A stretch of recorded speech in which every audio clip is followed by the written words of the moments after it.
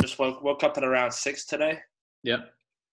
Yeah, awesome. Then So what's what's your morning ritual like? What's your routine normally like? You wake up and normally jump on the red light straight away, or yeah, generally get the red light in. Um, just yeah, just water. Um, Nettie's been making this amazing um, cold brew at home. oh yeah, little nice.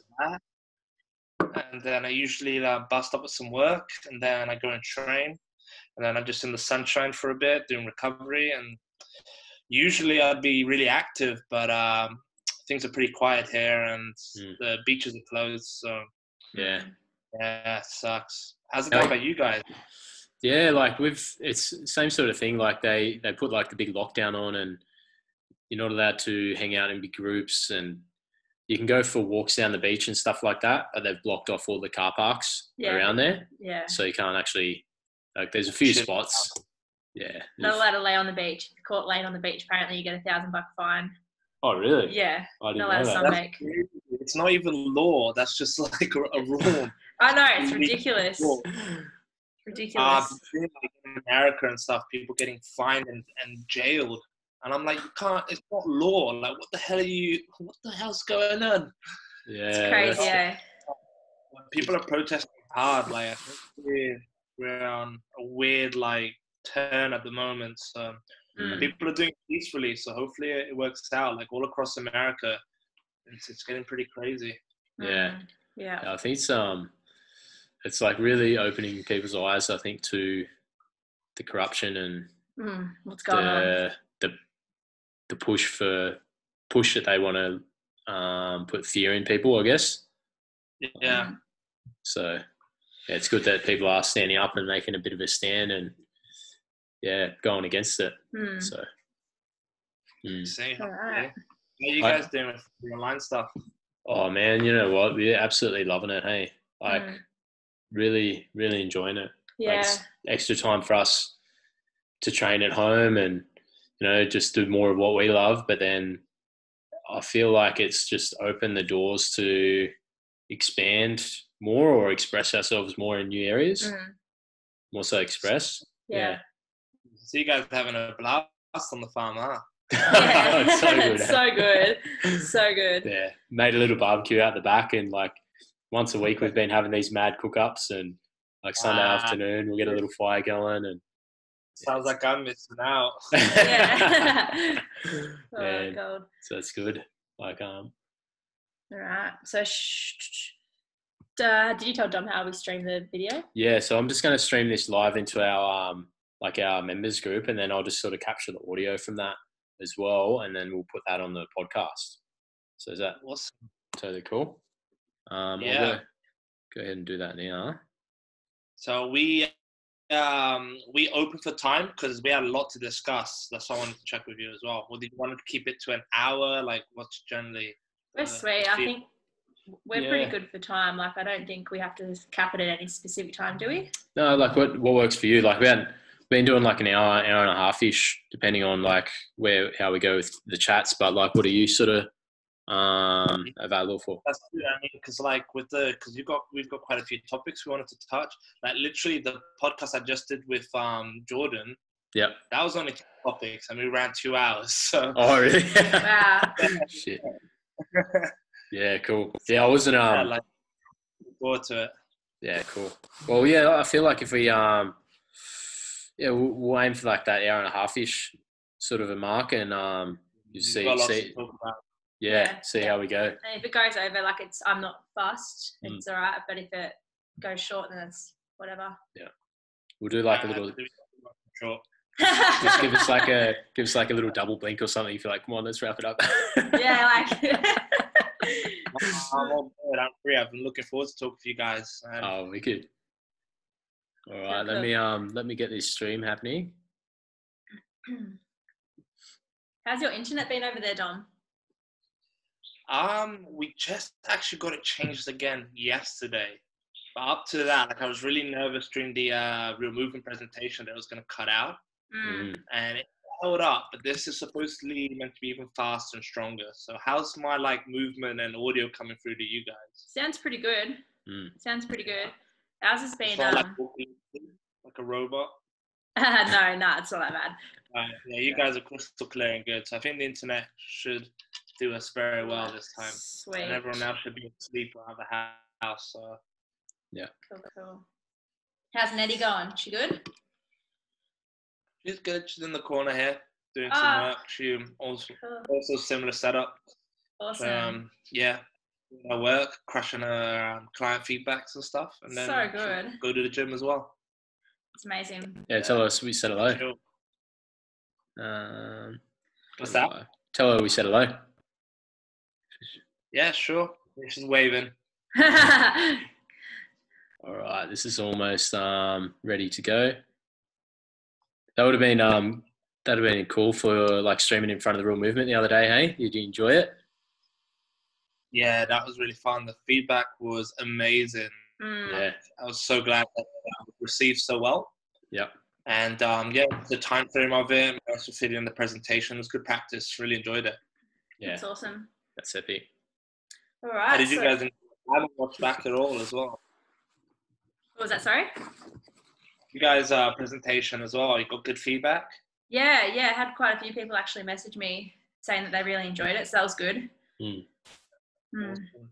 Yeah. Yeah. Sweet. Yeah, good way to get to quite a few people. I'm definitely gonna watch back the whole weekend. Yeah, Yeah, so much, eh? So, So much much stuff. I haven't had the time to go through. Like, yeah, you guys. I've got Lucas, then Patrick, um, a few other people that I'm just like, all right, gotta gotta get on that. yeah, yeah, yeah. yeah. It's epic. Eh? Um, there was a, I think it was um the flexible that guy. Oh, have you seen him? flexible. Flexible. Um, with Ben Oh, I in. I think he's in Ben Patrick's crew from ATG. His one was Uh-huh. his his one was quite enjoyable. I caught like about twenty minutes of it, but it was all about like movement dynamics and how there there's no there's more than one way to basically do movements, and he sort of dived into a little bit about um, also like the environment. Like someone could do um, like a three pointer time after time after time in practice, but then when they get to the game, they miss every shot. So he started talking about different factors that come into play in that. Yeah, So it was it was really cool. So okay. Interesting. I gotta check that one out as well. yeah, So much. so much. eh? Yeah, Emmet Louis, so, so many, yeah. Yeah, it's cool though. Like it's such a great idea, and um, you know, just to get so many leaders or so many thought thought leaders like, in that one in that one place. It's, Walks of Mm. life now in the movement scene and health industry. Yeah, unbelievable. yeah. So All right, so we are live. we are live. We are live. Welcome, guys. Welcome. So um, this is Dom. Dom um, came to our facility at Feel Live and did an amazing workshop, a seminar on all things like ancestral health and longevity. And um, yeah, it was really, really amazing, and we found it so informative. Everyone that came got massive feed, like really, we had really, really good feedback from it. So we thought, you know, well, let's jump on a call with him, do a podcast, and we'll stream it live so that you guys can also get um, just as much value. So this is Dom. He's currently. Do you want to explain why you're red? This is not my natural skin tone. Uh, yeah, my just my morning protocols. Um, red lights, so I get the um, spectrums of sunrise and sunset Mm. throughout the day. Um, since I'm obviously not out the house early on the beach in Bali, getting my natural light, I use the uh, red light to get the collagen moving around my skin, get my, Mm. my hormones producing to start the day, and uh, yeah, we we Mm. will touch more on this throughout the throughout this podcast, I guess. Sweet. That's why I'm red. I've seen them. I've seen it popping up. Around 20 minutes, then you'll get to see what how hideous I really am. Uh, Yeah, I've seen the red lights popping up quite a bit. I've um, been drawn towards like checking them out or Mm. investing in one. I've seen a few people popping up with them. You, you feel differences within within a week. oh Yeah, wow! Awesome. That's uh, I'll put, Yeah. Red light. yeah, well, cool to. I mean, I have a work chat with. Red Light Rising. Should check them out. They do a lot of informative um, posts about it daily. Um, they also have some of the best machines that have different specs that you want to look out for. I can cover this more greatly later if anyone's interested. But um, yeah, it's it's amazing for hormonal regulation and also I did you know I, I, I spoke a lot about um, how to deal with sunlight, especially if you're more Caucasian and more fair skin, and Mm. not having to wear damaging oils and and skin products for for sun um, exposure. And the red light actually helps you regulate your skin and adapt it into being able to take in more blue light and not burning as quickly or burning at all. Wow. It's Wow. incredible. Yeah. Yeah, cool. So it's yeah, regulation light spectrums. It's, it's amazing stuff. yeah, yeah. That'd be cool to um look into. I've um I saw this um. Have you ever seen the the machines and stuff where they expose you to a whole bunch of different lights? Um, What do they call that? Bi- bio? Is it that? Yeah, it's kind of like um, there's a place in just down the road from us that has it, and they're like a it's a machine that has a whole bunch of different light frequencies that they'll expose you to in different nice. sequences to sort of um, that's more so to change change your state or get you into altered states of um, consciousness, like into that therapeutic zone. So they use it for Interesting. So that's more frequencies than the actual color of light. then as well. Mm. Yeah. mm, yeah, Maybe. There's so much bio this, bio that nowadays, and there's so much Yeah. to keep up with. yeah, that's, that's it. Wow. Yeah, no, um, cool. I'll check. Mm. Yeah. So this morning I jumped on the scales down um down probably close to 12 kilos since you were here in um January. Is that January you were here? Yeah. yeah. Yeah, that's huge. Was it? No, it was. Uh, was it February? February. February. Yeah. Yeah, it yeah, was. So, February. February. so that's like Yeah. nearly two months. Yeah, so it's epic. I um it's a huge Months huge of shift. kilos, right? Mate, huge huge shift. Like um Crazy. And it's funny, you go on like uh, the calorie guru guys, and they're like, "Oh, I lost uh, 13 pounds in two months, and here you are, 12 kilos. Like, what's that in pounds?" yeah, I don't- that'd be it would probably be close to like 20, Yeah. 24 pounds or something, eh? and not not Yeah, weighing just- food or anything. just Raining what you enjoy and just living your life, eating the amount of food that you want to eat. Like, awesome. Yeah. Hmm. It's, yeah, it's been epic. Like, like I think the one of the biggest things I took away from um like when you were here was like, you know, just eat when you're hungry, eat when you're full, uh, eat until you're full. And Yeah. like prior prior to that, I just had so much like thought in the back of my mind, thinking like, oh, I've got to eat this um, specific amount of calories, or I can't overeat and do all this stuff. And that whole time, I was just filling up on the wrong wrong stuff. And then for me anyway, and then um yeah, just had so much doubt in my mind, but like it's been honestly one of the most enjoyable Yeah. and sustaining things I've ever done. I think. yeah. That's yeah. awesome. I mean, it Yeah, sounds natural for the human being, right? Just get on with your life, and your body shouldn't have to calculate how to stabilize your weight, right? Yeah, Mm. So So true. Now. So awesome, man! Huge props. yeah. Thank you. Thanks for the cool um, thing is that guidance. your- your strength is going through the roof, right?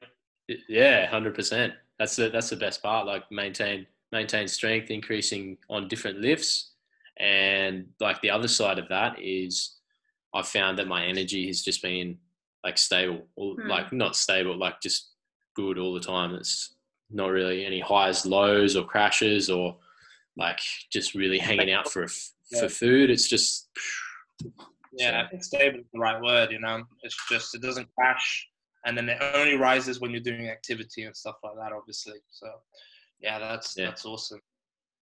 Yeah.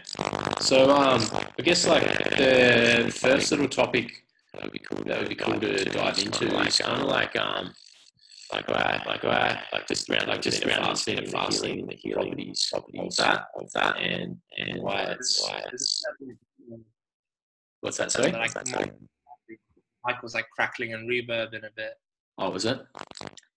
How's that? How's that sounding? Yeah, that's good. Yeah.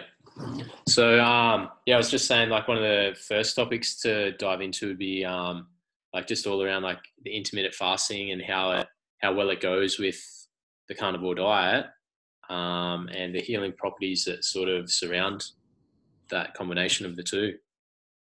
All right, cool. So we'll dive into that then. So generally, it's it's not something that has to be really thought of, as as you probably have felt. Um, when you start to eat more ancestrally based, when you start to up your fats and your proteins, and you start to diminish the the carbohydrates as such, you realize that um, you feel fuller for longer.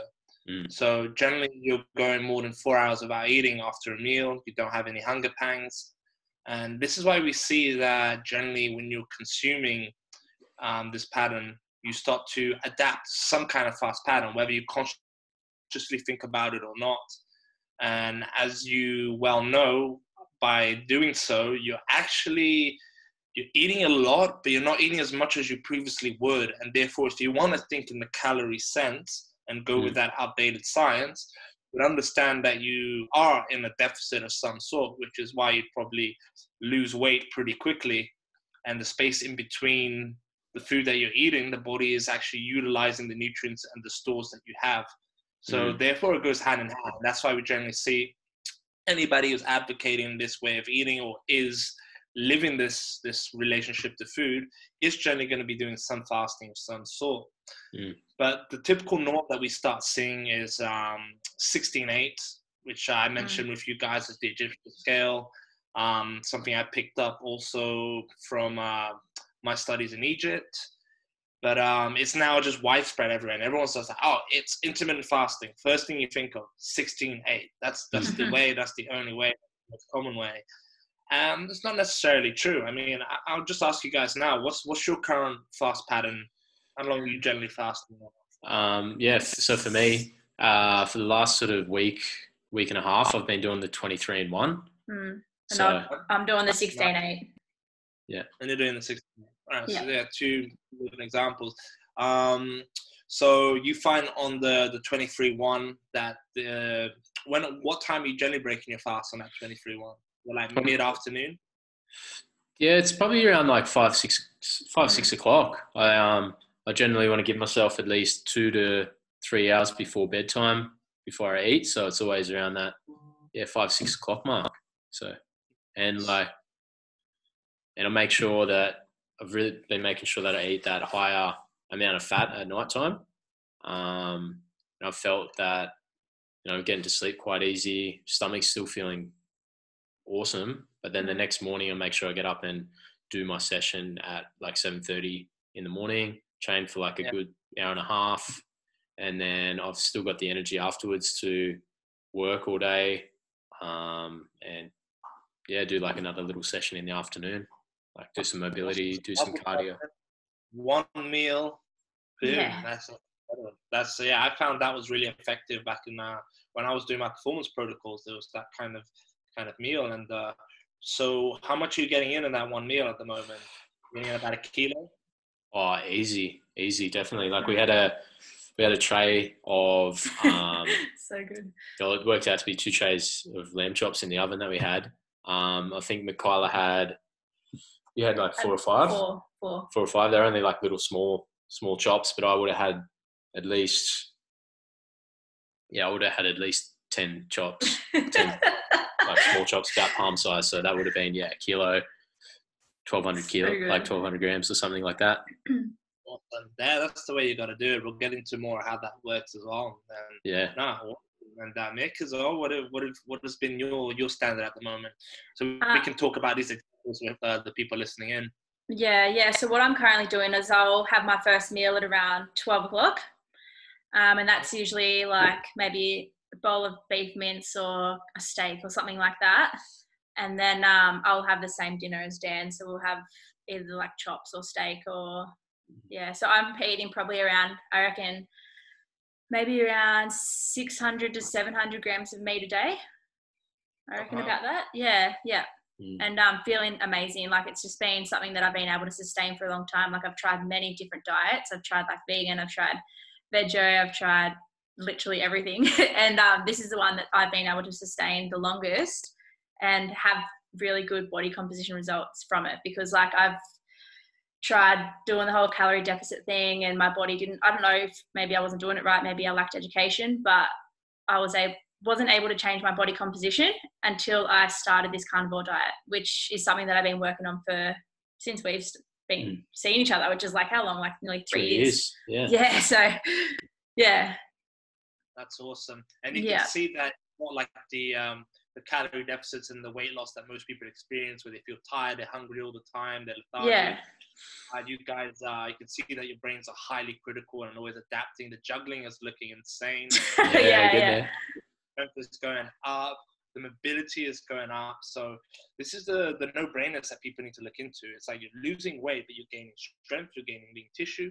Your brain is full of energy and very focused. The mental acuity is on point. Mm. These are some of the things that um the just natural fasting aids us with. So I Yeah. guess let's go down into um some of the effects mentally before we go into the physical side.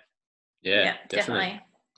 So um, when people generally uh, feel hunger, they they try and eat right away. That's just the common thing, right? Mm. And for us in the tribal world, hunger means hunt. So it doesn't mean that you need to eat right away. It means that you need to start preparing to find food because that rumbling in your stomach is not actually your stomach. Most people go, "Oh, my stomach's rumbling." No, that's your intestines. That's called peristalsis, the subconscious vibration of movement in your intestine that moves food and waste nutrients down the line towards your colon.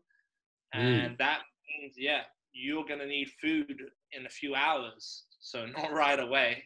Yeah, It wow. You have space to assimilate more food. So therefore, hunger means hunt.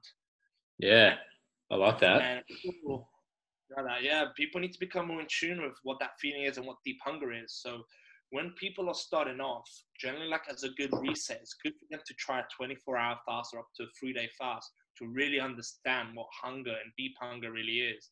Mm. Because coming to the end of 24 hours is when it generally starts getting difficult and real hunger starts to set in. And if you Mm. can last up to three days and see that that hunger actually goes away again, and your Mm. body then starts to assimilate its own damaged and old cells for food, and the gut bacteria starts to cleanse and assimilate ketones from the liver, then you start to realize, oh, actually, this machine is so clever for survival that um, I don't need to pump it full of food. Just how most people say, oh, my brain will break down, I'll lose muscle if I don't eat. Those are the common fears we see. But when they do this and they experience the heightened mental state, and why is that happening? Well, you're first now getting a stable, clean energy source without the disruptive blood sugar roller coaster of death. So you're getting a steady flow um, of energy to the brain without disruptions, without sending blood to the digestive systems. So you see that when your body isn't in that parasympathetic state from eating and then you're trying to work out, you actually have more blood flow and more oxygenation going to your brain and muscles. Therefore, you're able to perform better. And this is built in us for survival because when that hunger means hunt and you haven't got any stores or it's been a while since you've been able to successfully hunt your body needs that heightened state that energy flowing around to different parts of the body Mm. to make you survive to make you get off your ass and be focused on the mission which is to survive and now we can utilize that for training Yeah. but I'm going to talk about eating before and different patterns depending on your goals. But for most people that are have some weight on their frame that they want to get rid of, or are looking to perform extremely well and don't have much stress in their life, the stresses of fasting to get that mental acuity and to use up your own animal saturated fats, that visceral fat stored in you. That's why fasting is really important. And if you're eating a highly nutritious, highly easily digestible and assimilable relationship to food, which is a meat-based way of eating. You know, fat, you know, fuels all of the cholesterol, the hormonal activity in our body, the nutrient transfer into our body, and protein creates glycogen stores, uh, methylates the body, and creates new tissue.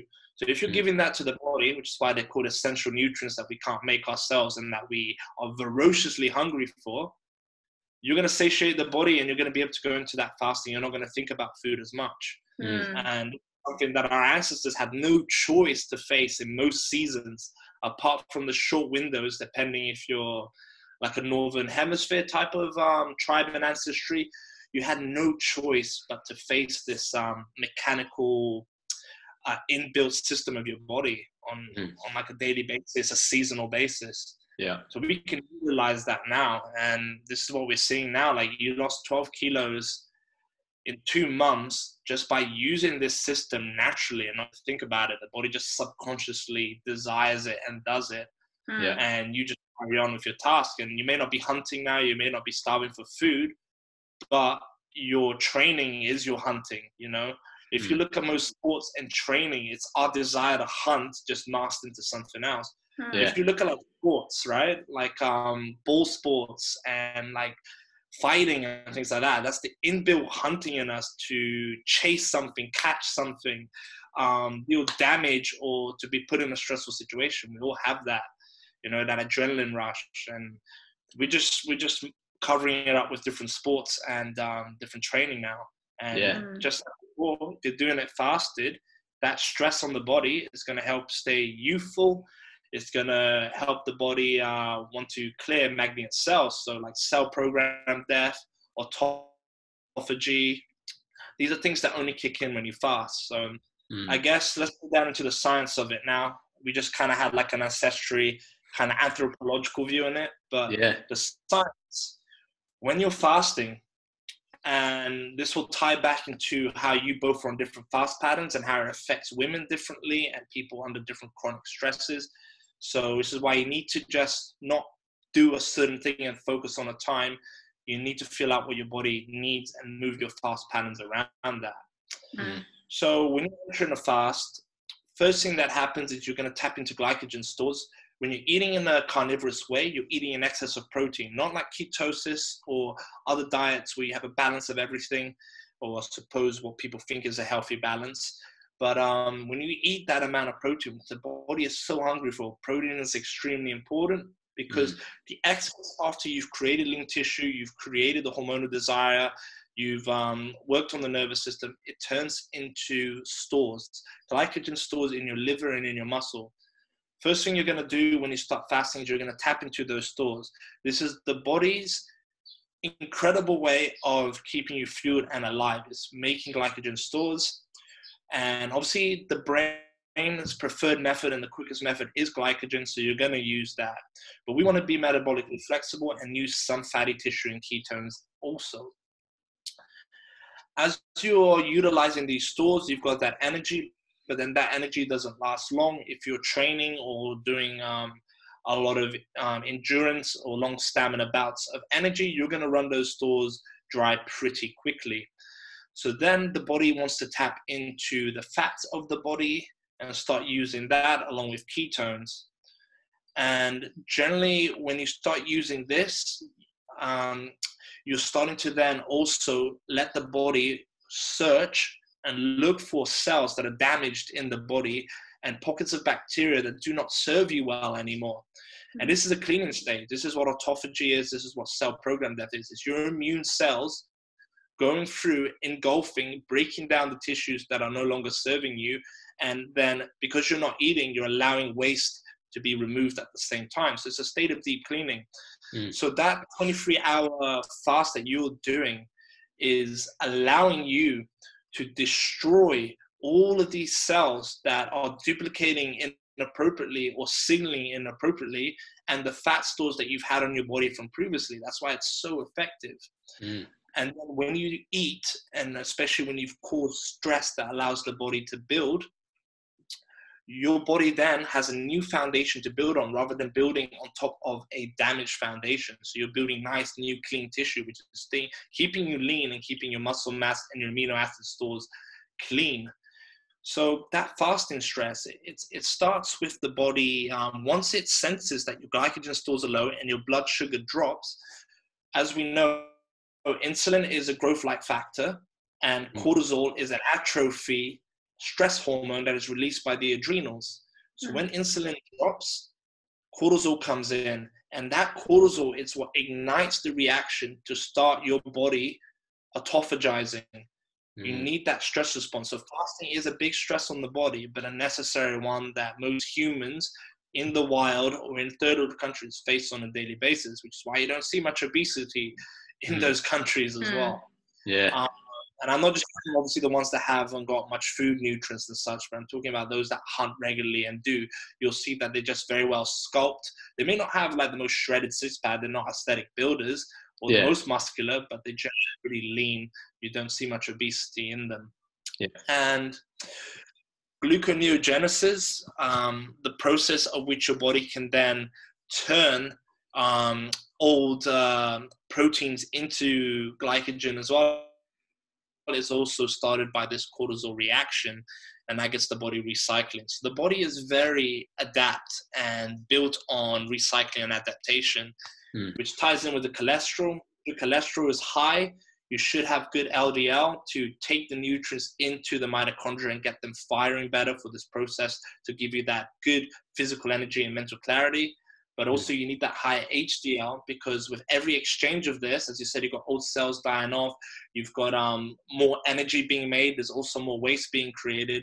Then you want that HDL to come along to allow your liver to recycle the uh, the waste and also get rid of it. Yeah.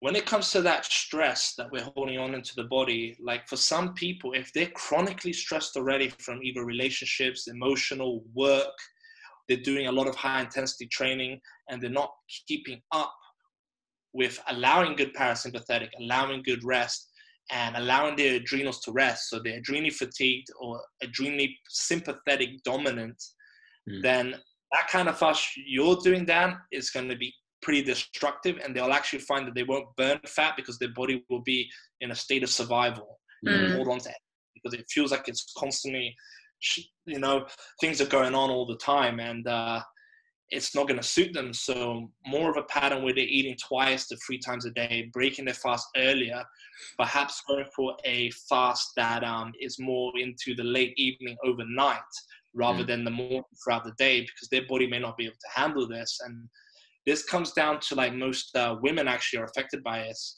so a lot of women that aren't eating well are highly stimulated, adrenally fatigued. When you're adrenally fatigued, you dampen the thyroid and the pituitary gland has to work even harder.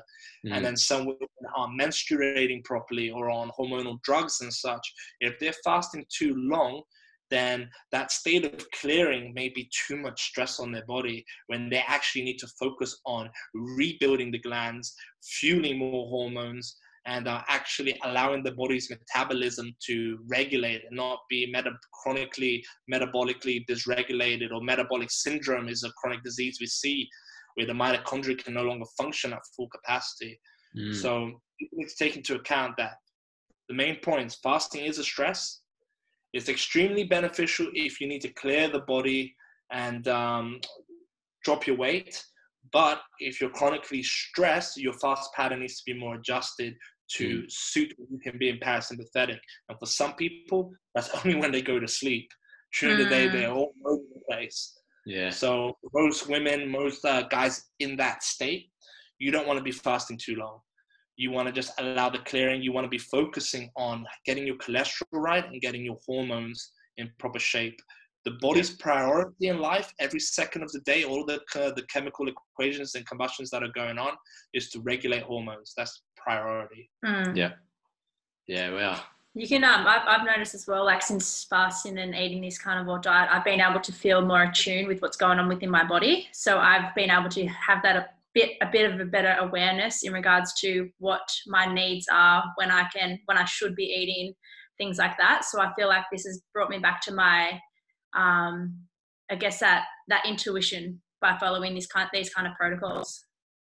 Beautiful. Yeah, I mean Mhm. that's that's a good point to take away. There, it's be intuitive about it. Don't Mm. just listen to that influencer that's like, oh, 12 8, that's intermittent fasting, and then you're going to eat this many calories. It's like, Mm. so you do 12 8, you pretty much stress your body out completely, and then you don't eat the right nutrient balance when you are breaking your fast, and then you're so stressed now on top of getting everything right, and then, yeah, Mm. you just end up destroying your thyroid. And that's why we see that the huge majority of women nowadays have thyroid issues. And I've Mm. worked with over like 30 clients now, all female. I've not worked on one guy with thyroid issues, all female, Wow. um, destroyed thyroids, Hashimoto's, hypo, hy, um, yeah, hypo and uh, hypothyroids. I just, yeah, it's it's so Mm. destructive. And Mm. these are women that starve themselves, um, chronically fatigued from the stresses of life, and not understanding the the uh, biochemistry behind the fasting, just following something, and then they're eating carbs and then binging here and there, and then they're Mhm. raising that insulin.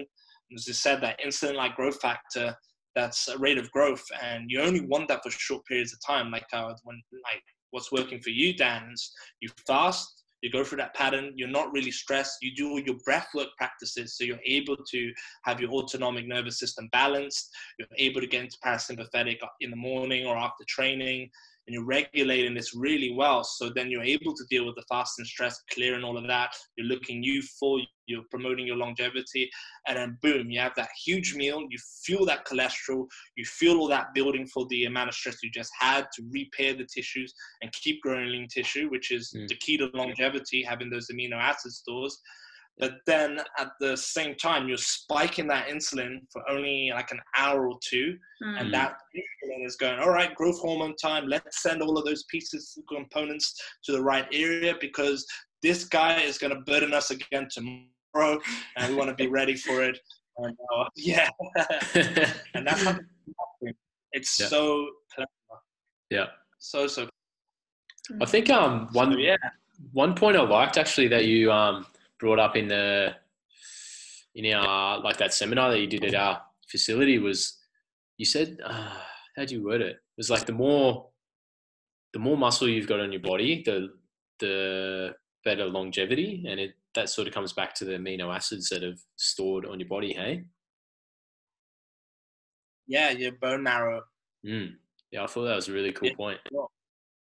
Yeah, I mean, if you look at um, like tribal societies, um, when they made a hunt, they didn't ration it out. They uh, everyone got their pieces. Um, depending who you were in the tribe, you got certain things. Uh, like for example, uh, women and children would be given um, the fattiest cuts and the organs, especially if they're pregnant or menstruating or certain developmental ages of the child. They'd be given the organs for the nutrient density for their growing tissue. And then the hunter men would just feast on all of the protein yeah. you know, to keep the lean tissue to building and to keep themselves strong for the tribes. And other bits and offcuts that most people prioritize were just given to the dogs or pets. Hmm. You know, but that's that's how it that's how it was. So we are seeing now that muscle and bone marrow is directly correlated to longevity. So the more muscle you have and the denser your bone marrow, which you get from resistance training and eating a shitload of meat. you know, you're you're going to have more amino acid stores, which obviously think about this. If you're ill, this is how it works. Think of it in a modern time from an ancestral time. If you're ill, if you're injured, if there's no food shortage, the more muscle mass and bone marrow you have, the more nutrients you have to, to autophagize and gluconeogenesis, gluconeogenicide into energy. So you mm-hmm. can keep going for longer until you're able to find food. If you don't have those stores, you don't have the energy to keep looking for food, to keep surviving and repairing through the injury or the illness, and to support the other members of your tribe. So that's how you got to think of it nowadays as well. Now, like, if you don't have those stores, you can't get over your illness, you miss out on work. If you don't repair quickly as an athlete, you miss out on work you miss out on goals. Within two weeks, you lose muscle mass and strength. You know, it's things like that. So you not only do you miss out financially, you miss out physically. So mm. keep those amino stores high and up. Yeah, I like that. Mm. That's awesome. I've noticed as well, like um, when we went through the whole process when our gym was shut and everything like that, like I didn't do heavy strength training for about, I think it was about two weeks. And um, uh. my strength was able to stay the same just by maintain, maintaining this carnivore diet. So I was able to keep my like my my strengths remained exactly the same. Like I did the same amount of same deadlift, same squat, same bench as I was two weeks ago, even though I didn't even do any sort of strength training in that two weeks. So it was pretty cool to see. There you go. I mean, I can relate to that. I just had um, my motorcycle accident, and so mm-hmm. it was two weeks day that I had the surgery and I spent a week outside the gym. I just fasted out the medicine. Then I just ate and ate so much red meat and, and seafood to get the anti-inflammation, get the repair. And then I went back to. I just took it easy the first few days, coming into the second week, and I was like, oh, I'm just gonna train some handstand push-ups, and the strength was just all there, like. So like, good. You know, already healed. I wasn't on any anti antibiotics, no painkillers. Just yeah, just healed, movable, straight back to it. Yeah, so that's epic. that's amino acid stores, and that's eating well for recovery. Yeah. Mm. Yeah, that's huge. And um, like when you when you're going through them processes and stuff, like with the healing, do you find like you, the the seafood just helps bring down inflammation a lot? Does it? I find more more the fasting. So I don't fast. This is another example. So I don't fast as long as I normally would. I Hmm. just I, I maybe go about I go down to about twelve to sixteen. Yep. Other than like general eighteen or twenty, and that allows um because in infection and breakdown of your body happens from within. Like people are still twisted in the idea that infection comes from outside Mm. infection is your body's um, inability to process toxins and to allow your immune system to eat away at tissue that doesn't serve you. So if you think when you get an infection, it's your body trying to eat away at tissue that has broken down, and your cytokines are trying to react to it to get to get rid of tissue that is um, creating a waste that's harmful to your body. You don't really get infection. You don't really need antibiotics if you've got good cholesterol and you've got a clean system that is um, optimal at repair. Mm. So therefore, that waste happens because of the damaged cells in the area, let's say a cut or a wound like how I had. Um, what's going on is that when those cells are breaking down and they're damaged, your body is extremely fast at going in there, getting rid of that waste and sealing it up with new tissue. So Mm. therefore, your rate of infection is very, very low. That's why cholesterol, and you see elders that are very old, their cholesterol is extremely high because the only way to be immunely strong is to have high cholesterol. Yeah, wow. Mm. So I don't fast as long. I make I eat a lot more fat than I normally would, and yeah, I get the seafood fats, the DHA, to uh, help with the angiogenesis balance and remove some of the inflammation around the tissues, so that when I do go into angiogenesis, it can flood in with the right nutrients to repair. And that's Yeah. why I I heal and my athletes heal amazingly fast with no infection or need for pharmaceuticals that are dampening and stressing out the liver and kidneys Mm. Yeah. want those two to be the most clean and effective. Like, That's like so. they're- without them, then you will fall into infection. Then your body will not be able to clear, and the infection will grow from the inside. It doesn't grow from something on the outside; it grows from the inside. The infection. Yeah. So yeah, you need to be super resilient there in order to heal up fast. And then obviously, if you've got that clean, and then all the building tissue you're eating is going to help your your blood and um, your your systems to form a bond and create new tissue and uh, seal the wound. Yeah. Mm. It's That's it. crazy how um just by following some sort of like just by eating a carnivore diet, you can literally heal your body like that. Like it's just it's so simple when you put it like that. It doesn't have to be complicated. Yeah. doesn't have to be I mean, if you're not putting any any decorative foods on the side, you're not inhibiting your body. So Mm. I mean, I don't want to go too far away from the fasting bit just yet, but we'll definitely get into the anti-nutrients and stuff like that. Yeah.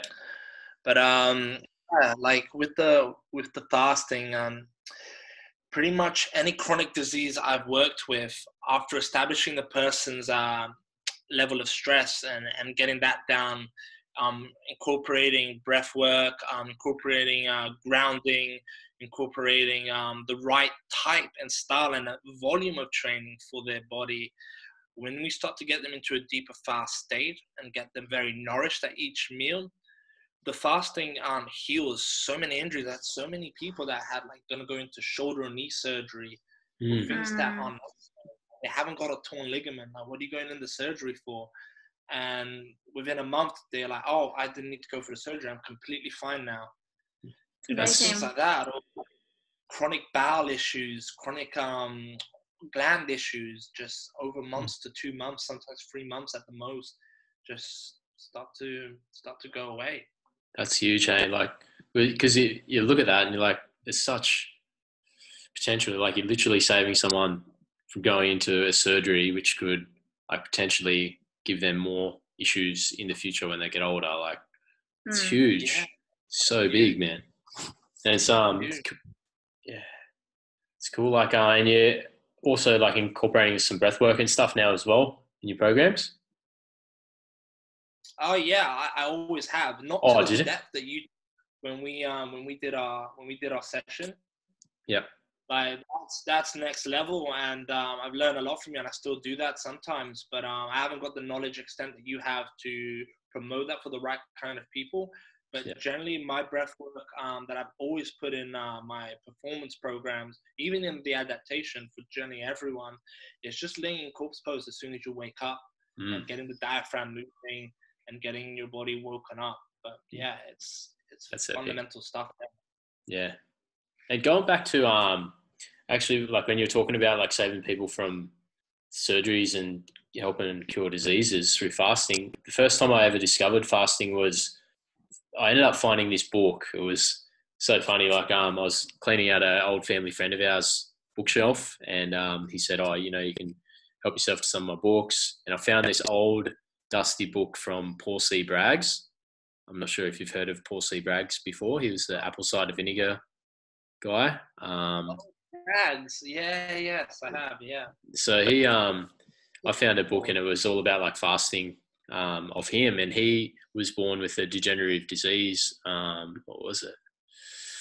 It was some form of degenerative disease when he was younger, and he got sent away to this place over in Europe that was curing people through fasting. And I think he was there for like six to nine months, and he like massively improved this degenerative disease to the point where he lived like a ripe old age of like you know up into his seven like late seventies or eighties, healthy. Yeah. Yeah, Was it the fasting miracle of the book? I think it was. Yeah, I think it was. Yeah, I've read that. I've read that one. Yeah, I know you're talking of. I read that about yeah, I read that like seven years ago. Yeah. Yeah, good book. Yeah, definitely. So um, yeah, it's just like amazing the power of power of fasting. You know, like to be able to cure things like that. It's huge. Mm. It's huge, yeah, just allowing the body to um, not only clean itself, but just self-regulate and reset, like starting it fresh. So they say from the from the fifth fifth day onwards, um, every day is like reversing a year of life. Wow, Wow. that's huge. And like dry fasting, that starts from about three days. So Wow. it's even faster. But we still have people taking it a bit too far. We still get people that fast for like 20 to 30 days.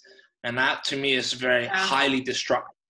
And people are trying to cure issues just by fasting alone. And it doesn't just work like that Mm. because sometimes your issue is not just about resetting it's not about just um, atrophying and clearing it's also a lot of the chronic issues we see today is just some things are not being built adequately or strong enough and if you fast you may weaken those further Mm. Mm. something like you have so many like especially like vegetarians and vegans tim Shieff who's a friend of mine do you know tim Shieff No, I haven't heard of him. No. Uh, like an influencer, huge in the parkour scene, was a huge vegan advocate for some time, and he's literally uh, gone back to meat. Um, I think like last year, and um, huge differences now. But um, yeah, he was getting chronic issues from starving his body through a vegetarian vegan diet, and then he tried to starve himself more with prolonged fast and urine therapy, and just completely destroyed his body. And then as soon as he ate fish and meat again, boom, the body started rebuilding body's glands started working again, nervous Hmm. system started to repair. Yep. That's, Yeah, wow. Yeah, it's crazy. So, um, someone asked in the that's watching, they said that they have an understanding that high calories are to happen on training days. So, I think going back to when you were saying that you were still eating a shitload of food when you weren't training throughout your healing process, um, are you able to touch a little bit about? Are we supposed to have high calories or heaps of food on training days and a bit, little bit less when we're not training, or is this going back to again just listening to your body and Yeah, listening to your body, but um, you can't overdose on protein. mm. Like, you know you guys know that. You guys follow that now. You can't overdose on protein. You can overdose on fat, but what happens when you overdose on fat? you get sick. You wake up at 3 a.m. and you have to run to the toilet to either explode your from your backside or your front side. Whatever method your body prefers, it will let you know. or both. Not body in trouble or anything. It's just you you have too much fat the fats, rendered oils after digestion, your body can't soak it in. This especially happens to the newbies I'm um, adapting in, which uh, we put in your course. Mm. And uh, that's what happens. But even when I'm in hospital, in the bed when I can't move and I'm not training, I eat the same amount, if not more, and I don't put on any fat. Mm. I don't put on any fat. All I do is not lose muscle. I Mm. don't get stronger. I don't lose strength.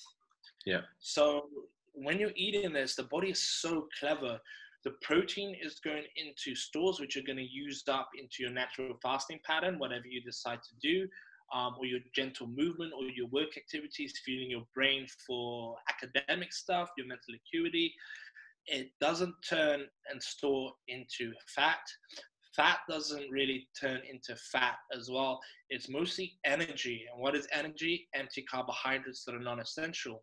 So if you're not moving much and you're eating energy, energy is stored because you're not moving to create to utilize energy. So you eat energy when you're not using as much energy, it stores. If you eat building blocks, it continues to build you and it only makes these small stores in your liver. If Mm. you're eating fat, you also don't make much stores. You create hormones, you create electrical systems of your nervous system, you create cholesterol, you create intracellular activity. Mm. Therefore, this is why on a carnivorous relationship to food or ketogenics, you don't you don't put on fat. It's easy to stay the same leanness all year round. And if you want to get leaner with a high intense amount of training, you just lower your fat slightly so your body has to utilize more fat from your body, which I don't suggest for women. I Mm. don't think women should be um, less than 10% body fat all the time. My partner used to do this. Now she's sitting more around uh, 13 to 40%. And it's more healthy for the hormone regulation. It's more healthy for the body. But if she wanted to drop more, she would up the intensity of her training in terms of weightlifting, hypertrophy, intensity, um, less rest, and she would cut down a bit of her fat. But at this, she would also cut down at the expense of her menstrual cycle, fertility, thyroid, and hormonal regulation.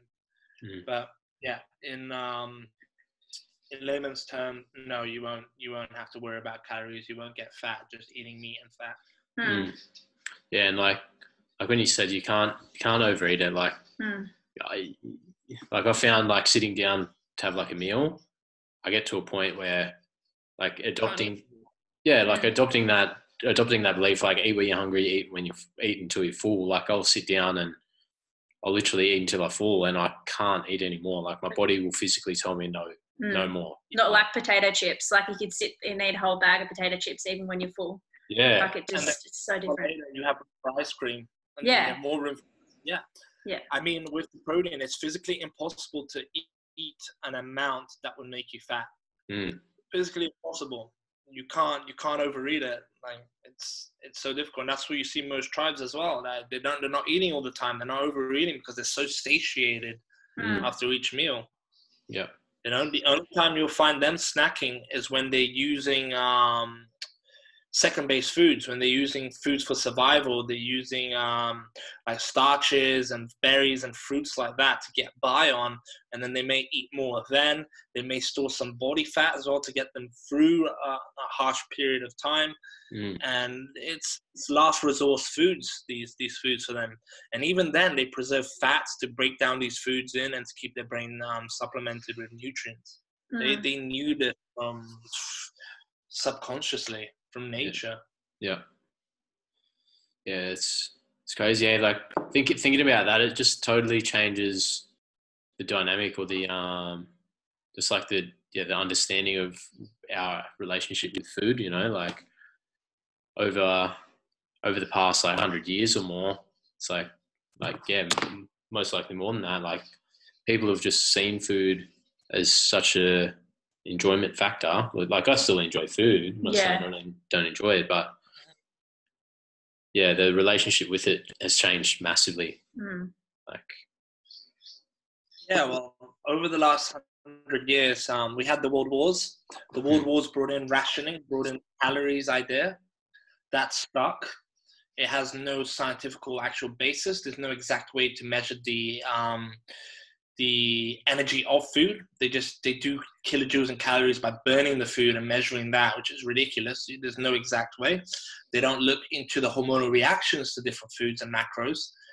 And then we're, we're basing off of a system where where people have started getting refrigeration and access to food and fast food and restaurants started to pop up everywhere mm. and then eating became a social thing. And then propaganda started to come in because of corporate greed mm. so we started to scare people off of bacteria. So therefore our dairy became less available our dairy became pasteurized. Then we started to scare people about fat because of modern diseases created from modern processes that make billions. And the monopolization and control of our foods started to take place and the war is even bigger now. So therefore people came off fat. Therefore pharmaceuticals took place of natural medicine which is from cholesterol. Mm. and then and then the elites have now created a global warming to take further control of our food by demonizing the practices of freedom that we have which is cattle and utilization of our land Mm. And here we are today. Most of the world is trying to go vegan. 80% of the food in the world is plant based and grain based, it's processed, and we have the highest rates of disease now. Yeah. Follow the money trail, follow the corporate influence and agendas, whether it's infertility, whether it's partnering up with pharmaceutical industry, whether it's vaccines for immunity rather than nutrient density, um, follow where most of the cropping, monocropping, seeds, and fertilizers, all of the companies from the world wars, they went from making poisonous gases and poisonous chemicals to kill people, and mm. because they didn't disappear, now they make poisonous gases and chemicals to kill little animals and fertilize and put loads of glyphosate and chemicals into our food, then further processing chemicals to stabilize and create long shelf lives for foods. Mm-hmm.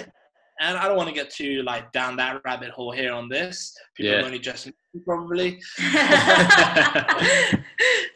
but we need to look into this. This is um, the deeper foundations as to why certain health organizations and who those people are and where they come from and what their beliefs were before their earlier generations and CEOs are are promoting mm. the foods the way they are and they are helping manipulate people's ideas and relationships around nature and food.